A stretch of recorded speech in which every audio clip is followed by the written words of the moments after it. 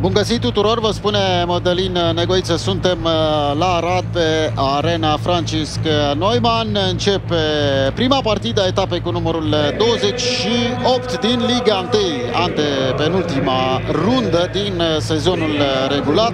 UTA care nu a pierdut de când a fost uh, preluată de Ionuț Bada. Spuneam o adaptare extraordinară și a nigerianului Otele. Minge care ajunge la Isaac.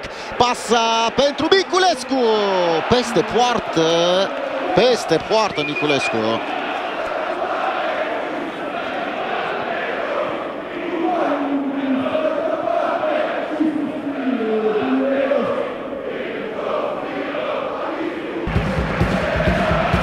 Centrarea lui uh, Ubin, la bara a doua, recentrarea lui Erico, gol! David Niculescu, minutul 15, 1 la 0 pentru UTA. Desfășurare logică a evenimentelor. Și Niculescu finalizează, iată, această recentrare a lui eh, Erico da Silva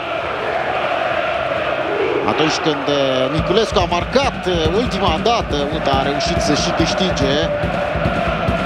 S-a întâmplat uh, cu Șep și chiar la debutul lui Ionuț Bada pe banca Redei. Minge respinsă, dar este fault, da, este fault. Dima va fi avertizat verbal. Constantin Dima a venit în ianuarie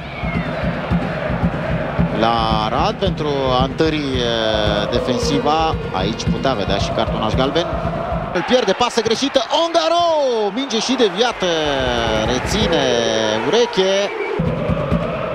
Robert Ion pe poartă, reține Florin Iacob, Murim reprimește Dumitrache, avansează, șutează, scoate Iacob, faza nu s-a terminat, Robert Ion își caută culoar de șut, dar este închis.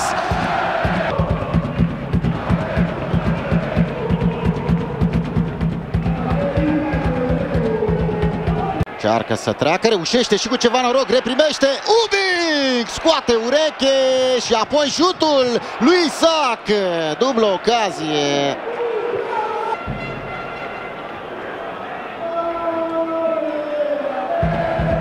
Iese bine în întâmpinare ureche. Închide cât poate de mult Munghiul.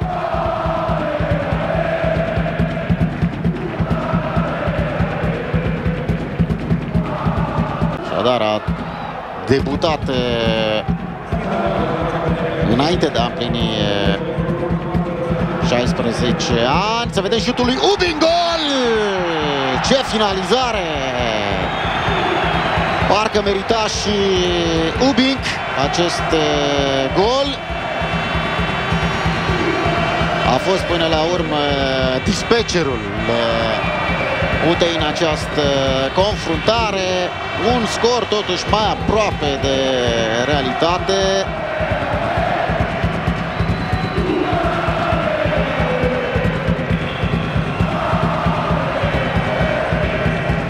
Acțiunea lui Dangubic.